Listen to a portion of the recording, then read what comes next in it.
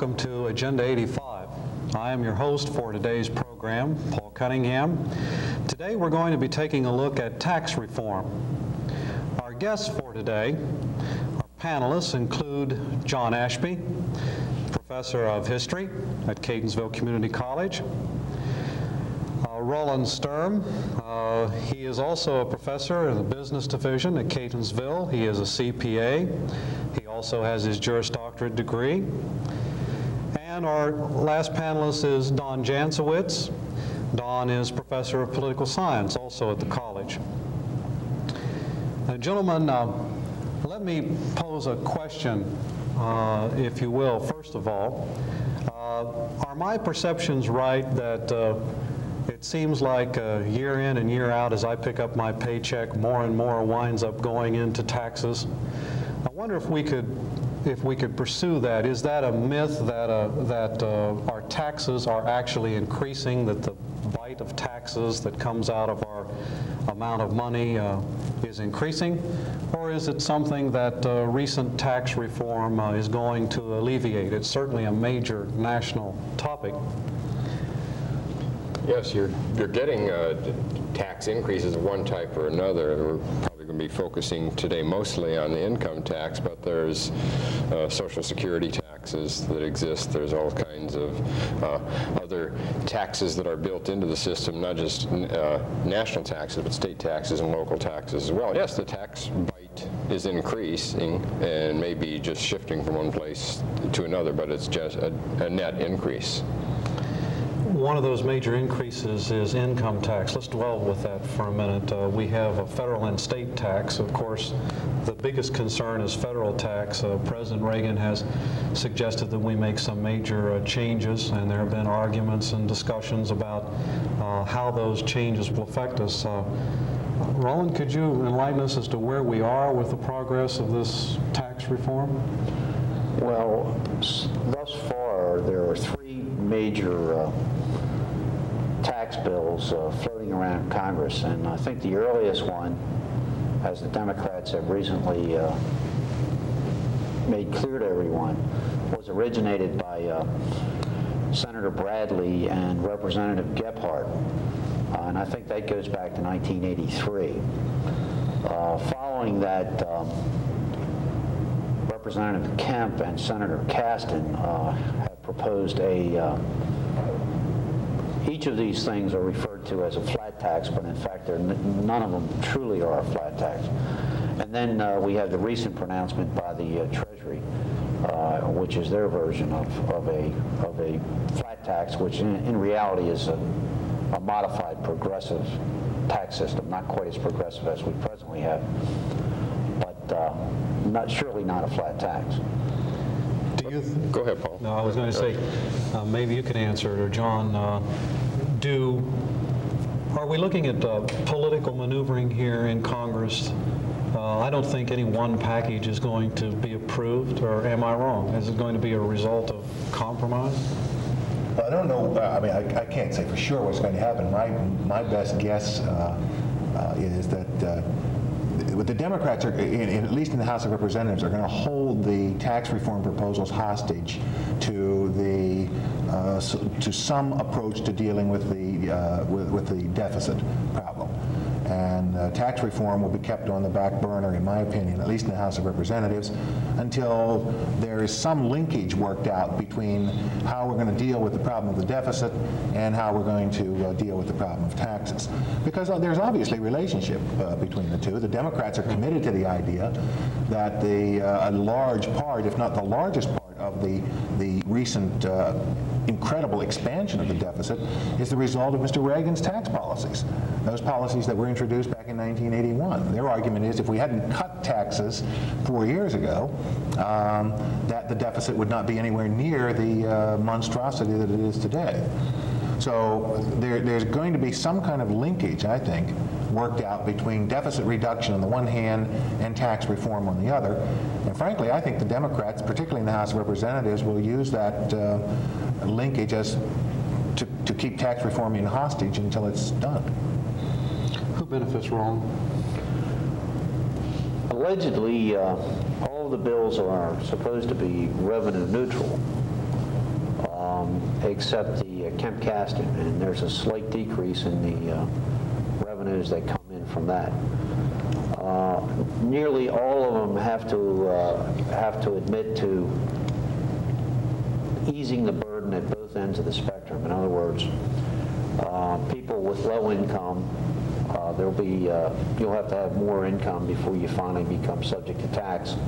And people at the high end of the spectrum naturally are going to benefit because in every case, there's a substantial reduction from the present 50% maximum rate to a maximum rate of uh, 35% in the Treasury bill, uh, 30% in the uh, uh, Bradley Gephardt bill, and uh, 25% in the Kemp Kasten bill. So you can see that if a person has $500,000 worth of income, he's going to save one whopping amount of taxes.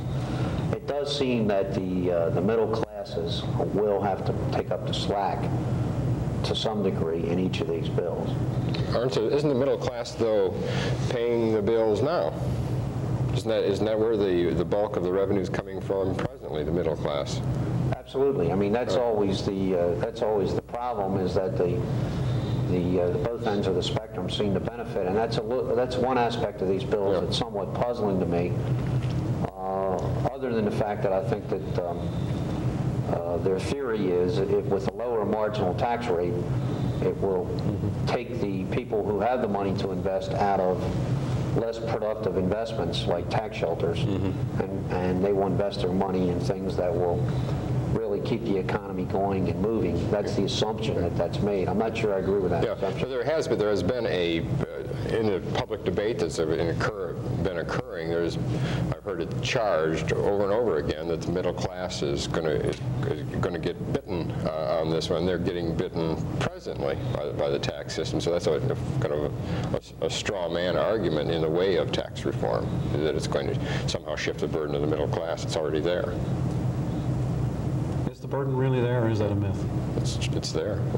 Roland? Yeah, oh, clearly it's there. I mean, it- the, the majority, that's why when you, when you, when they talk about any type of tax reform, they immediately go to things where there's the, uh, the greatest, uh, the greatest number of people are claiming that type of deduction. Uh, So if they're gonna, if they're going to uh, bring in revenue, they want, it may seem like a picayune thing to us, like the, the one of the most uh, recent things that they're talking about very seriously is things like, some of the bills drop sales tax deduction. And to you and I, we might say, uh, well, the sales tax deduction's not such a big thing anyhow, so who cares? But because it hits the broad base, the, the- it still brings in a lot of revenue, so it's the type of, of changes they'd like to make. What, what are the uh, what are the sacred cows uh, that uh, no one is willing to uh, deal with? For example, things like charitable contributions. Is that a sacred cow? Relatively speaking, it is. They, all three bills permit uh, deductions to charities, but Treasury is going to uh, only allow you to deduct your charitable contributions to the extent that they exceed 2% of your adjusted gross income. But even that, uh, we've already heard that there's been some si- significant uh, repri- uh, reprisals from, from groups on that. So you might see them back off of that. One of the, one of the things that's clearly a sacred cow, uh, and it's interesting because uh, two of the bills attack fringe benefits, make fringe benefits taxable, uh, such as the medical insurance and things like that. But the one sacred cow of all three bills is clearly your um, retirement plans, your IRAs, uh, individual retirement accounts, and your Keoghs. None of them are, are going to touch them, and in fact, Treasury is going to bring the, uh, wants to raise the limit to 2,500 and then permit the non-working spouse to have her own 2,500 IRA as well. So uh, that's, that's one of the real sacred cows, because I think they, they, uh, they want people to be able to fund their retirement without looking exclusively to Social Security. Isn't, isn't another uh, sacred cow the uh, interest on your mortgage payments? Yes, that does seem to be, uh, all three agree that that's going to continue to be deductible. The interest on your home mortgage will continue to be deductible without any limitation. It sounds to me like you're saying, though, that there are some efforts to try to protect the so-called middle class. Um, even if it looks as though the upper class and those who have a great deal of money are going to benefit the most, you have to give uh, a small sop of some kind to the middle class to, uh, uh, to protect them or at least make them feel as though they've gotten a little something out of this uh, change. I, I think they've all tried to be fair about it in, in their approach to it and try to minimize it- its impact on the middle class.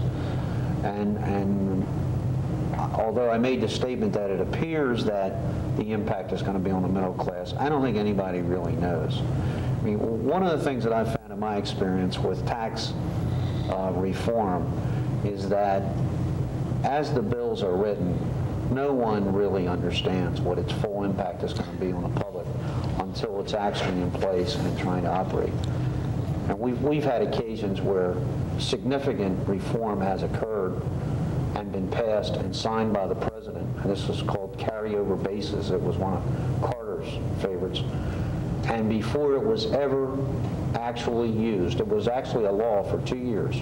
It was never applied, and it was repealed before it was ever applied.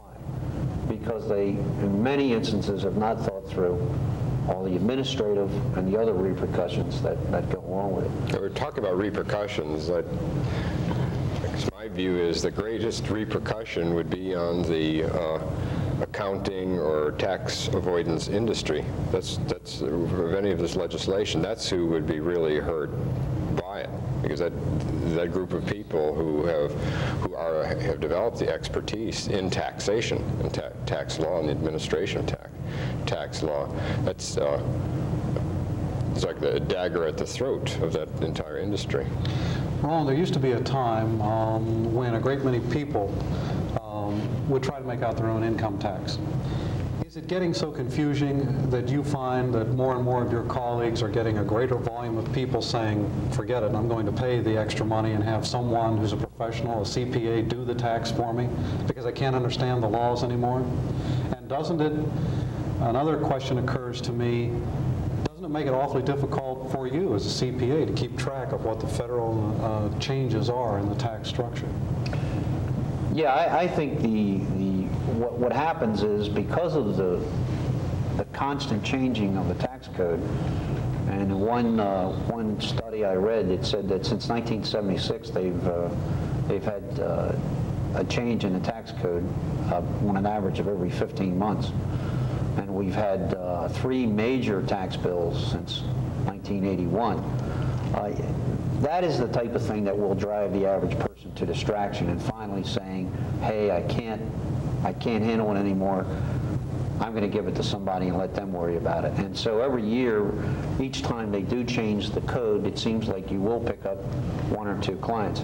If, if they would just resist the temptation to modify things every uh, so frequently, I think more people would eventually uh, become used to the law and then be able to deal with their returns themselves. But it's the constant changing that causes the problem. But people who still uh, gain most of their income or all of their income through wages probably can still do their tax preparation themselves, don't you think? Yes, in fact, there's a, there's a form called the 1040EZ, which all you have to do is put your wages on it and send the form in, the government will calculate the tax for you. So they do try to do things that will help people prepare their returns. And while we're on the subject, I might as well get a plug in for the VITA program, which we have here at Catonsville, which is a volunteer income tax assistance program. And right at this very moment, we have about six or seven volunteers doing uh, tax returns for retired persons in the uh, ADFAC building here at Ca- Catonsville Community College. And any of you out there who have any interest in that, please feel free to take us up on our offer to do your return free uh, on Thursday afternoons in February and March uh, from 12 to uh, 4 p.m. Let me ask you something to, to follow up with that. The thought crosses my mind. Uh, I have run across several retired people who have different sources of income, and, and, and they say to me that uh, that uh, as long as they have their house paid for, which they do, and have other sources of income, that um, they don't mind uh, um, the taxes increasing some if it's if it's spent properly. Um, that's a big, that seems to be a big issue now, not only just the tax cut and what kind of changes might be made, but the way in which tax money is spent. Let me ask a general question. Where does the tax money go? Where does that federal money go that's taken out of my paycheck every increasingly into defense, uh, reversing a pattern in which it was, it was, used to be increasing in the domestic area. There was a, well, really two areas of in- increase, defense on the, uh, the operating side of government and, and social security, which you have to put, talk, uh, talk about that when you start talking about taxes. Those two areas of, of taxation, or those two areas of, of spending are going up and up and up and driving taxes along, along with it. And, and, and let's not forget the interest on the national debt, uh, which is going up Yeah. as we sit here. Uh, it's increasing. You know, somebody once made the clever remark that uh, that taxation is the price that we pay for civilization, and I think the current concern is that we're not getting our money's worth. In other words, the, the civilization, quote unquote, that we're, we're getting for our money is not measuring up to the standards that we would like to see it uh, measure up to. A lot of people believe that our, uh, the, the crime in our streets and the uh, mediocrity of our school systems and uh, uh, the fact that the roads are full of potholes, uh, all these things seem to indicate that um, maybe we're not getting our money's worth when we, when we pay our taxes. And if the government is buying $6,000 toilet seats uh, for its airplanes, clearly there's something, uh, some kind of uh, uh, problem uh, going on here. Is that a part of the tax uh, reform uh, process, uh, not only to make it easier to perhaps hold the line on tax increases, but is there anything in any of these programs that says that along the way we will set goals and objectives and standards on how we are going to purchase material and how our money, our tax money is spent? No, not, not in these, uh, these revenue bills, but I think as John indicates, probably Congress will probably try to tie the two together in some way so that, uh, that there are significant uh, reductions in government spending to go with these tax bills uh, as they're, as they follow the the legislative process, if they do in fact ever get enacted. You doubt they are going to get enacted? Well, they're extremely radical uh, changes, and there are a lot of uh, repercussions that, that need to be thought of, out and, and given a lot of consideration to. Two of the major ones that come to my mind is the taxation of these fringe benefits like medical insurance. Presently, uh, the idea that the employer pays for a large percentage of your medical insurance uh, and he gets a deduction for it without it being taxable income to you, uh, encourages you to use a conventional type insurer. Uh, Once you say that you're going to have to pay tax, and I think uh, in our case at commu- at Catonsville Community College, it's about $2,500, you're going to have additional taxable income of approximately $2,500. You may start saying, maybe, uh, I want to do something else besides this that uh, the college is offering me. And since I'm really paying it because I'm paying the tax on it, give me my $2,500 and I'll deal with it as I will, either through some type of self-insurance or perhaps I'll shop around for another program that gives me a little different type of benefit. You're going to have some risk takers coming out of that system which, which the original intention of that provision in the Internal Revenue Code was to encourage people to be covered and to, to encourage employers to make that type of benefit available. Second one I see a problem with is uh, two of these bills don't permit, permit little or no deduction for state, uh, state income tax. Uh, Kemp-Kasten, uh, doesn't allow it, and neither does the Treasury proposal. So that means that the cost of your paying your state income tax, the effective after-tax dollar cost is going to go up because it's no longer deductible for federal purposes. And that means uh, you're going to be a little more reluctant, you're going to think a little more about that 7% that you're paying to the state, 7.5, which is really not 7.5%, it's probably about 4.5 because you get a deduction for it. Uh, You're going to think a lot longer and harder, and I think you're going to find more evasionary uh, tactics being, uh, being uh, at the state level for all taxes because all three of them, I think, did away with sales tax. And, uh, and one of them did away with real estate tax as a deduction. So it's going to make it more difficult for the states to raise their revenue. They're going to have the compliance systems rather than the federal government. Well, haven't we been playing games with ourselves through the, uh, the income tax as it's structured? We don't know, most people really don't know the impact of the, the, the- state income tax because it is, because it is uh, covered, uh, uh, it's forgiven by, it's forgiven by the federal tax system. They don't know the real cost of, of of health insurance. And if we went to tax simplification, wouldn't the result of it be that people would be able to start calculating what's, much things cost and what they, what they really want to do? Absolutely, that's the other side of it. You know, if the social policy is to make sure that everybody has some type of coverage in the event of some medical catastrophe, that's fine.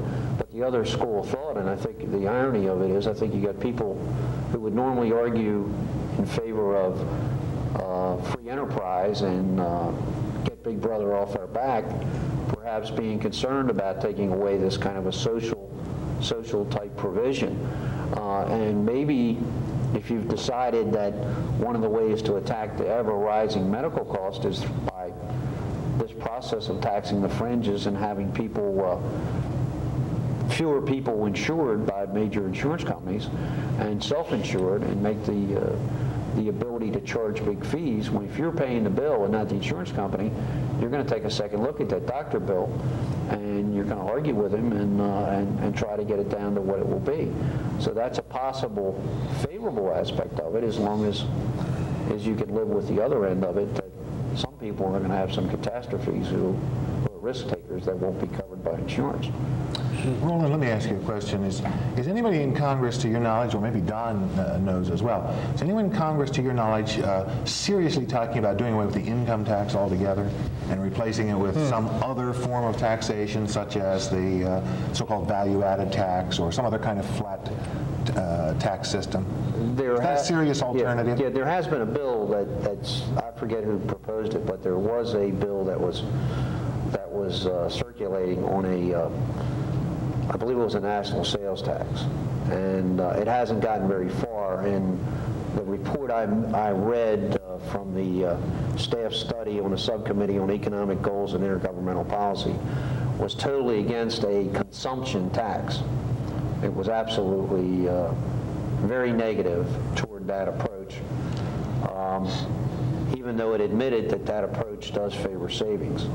Some of those, there are some really radical approaches to that that, that are scary. Uh, the uh, one proposal uh, would tax you on your borrowing. In other words, it would tax you on every inflow of cash into your into your personal control. And uh, things like that are, are somewhat frightening aspects of it, but I'm sure those things could be worked out. And that may ultimately be the answer, or some combination of that with the income tax to, to uh, out our taxing system. Because that produce, that could produce revenue. Those kinds of taxes can produce revenue, and it's not, it, it- they can manipulate the rate, but that's about all they can manipulate with those kind of taxes. Where the income tax, there's, it's, it's how imaginative one is uh, in terms of developing new ways to write off, uh, write off costs. Some information I have says that a 1%, a 1% sales tax before administrative costs would raise about 17.5 million in revenue. Hope I have that right, it might be billion. That sounds like a a large amount. Uh, Tax reform, whether or not it passes, bring it down to the county level if we can for just a a moment. Happens to my property tax and the other county taxes? Are, do you see those continuing to rise and maybe rising at a faster rate if we, if we put a ceiling somehow or a reform on federal taxes? Well, the only way that that would happen is already, I guess, taking place because the revenue sharing uh, situation is, is apparently coming to an end. And you, you may have more pressures to raise the state and local taxes because of that. But you're going to have more resistance from the taxpayers because it's now costing them more to pay their state and local taxes. I think you could reasonably expect that over the course of the next 10 years, that s- local government in particular is going to cost a whole lot more money because they're doing so much. They're involved in so many uh, ex- expensive kinds of projects. So that property tax, if we can continue with the property tax, is going to either move up through assessments or move, uh, move up through rate. what is the, what is the public willing to take in the way of taxes? Uh, If you were a strategist looking at the entire tax structure, let's say, um, would you rather take the small bits and pieces and continue to increase the federal rate? Um, Or do you think uh, people would, would rather see the taxes taken at the local rate, county taxes, for instance, assuming that it would be spent locally, and they would have more control over it? Well, if you believe that the, uh, the counties and the local subdivisions can more efficiently handle the funds and, and give the services that John was talking about, uh, then, then you'd rather see the federal government rate declining with the local rates going up. Um, Hopefully, that's going to be a, a happy mix where you don't get any appreciable overall increase. But that's the question mark about all these radical, radically new proposals that so dramatically change the existing system. It's awfully difficult to foresee what would happen and what's going to happen. the That's why, excuse me, go ahead. That's all. Okay, yeah, uh, that's why I think it's imperative that, that at this time, public uh, officials at the local level make a, a judgment call in terms of what is going to happen on this tax legislation in Congress, because they're going to have to position the tax rate before it happens, because it's going to be much higher to, to uh, start raising rates afterwards. Uh, It's It's going to be harder. to much bring- harder, much harder, so it's it's best, best do it now. While it's still deductible. Yeah. I- Isn't, uh, isn't another question mark in this whole system the, the performance of the economy as a whole? If the economy continues to expand and, and we continue to have uh, several years of prosperity, that, that makes possible one kind of tax uh, reform. On the other hand, if the economy begins to falter again and we begin to see uh, um, serious problems of uh, unemployment or inflation comes back, uh, that would seem to me to, to lead to uh, perhaps a different approach to taxation. So isn't there a, another question mark, uh, the way that the economy as a whole performs? Of course, I think that's what Kemp Kasten has always had as his, Jack Kemp always believes that by lowering that marginal tax rate, you will encourage the investment into better areas, areas that will keep the economy going, and then we'll have a strong economy. And therefore, even though we have a lower tax rate, we'll actually get more taxes because our GNP will have increased. And, and that's the happy theory that they, they, they labor under, and some people have called it, uh, you know, total economic folly, but But it's, it's, it's set to Voodoo that, uh, economics. to that unit. Well, we have pretty much run out of time. I could ask you one short question. Are taxes going down anywhere? And that wouldn't take too many seconds to answer. Uh, We thank you, uh, gentlemen. I thank you, uh, Roland, John, and Don, for being with us on this panel. Uh, It certainly is a- an interesting issue because it has ramifications in terms of how we spend our money and, and, uh, and what it is going to be used for in the future. Uh, We thank you uh, for being with us, panel, and we hope to see you again on Agenda 85.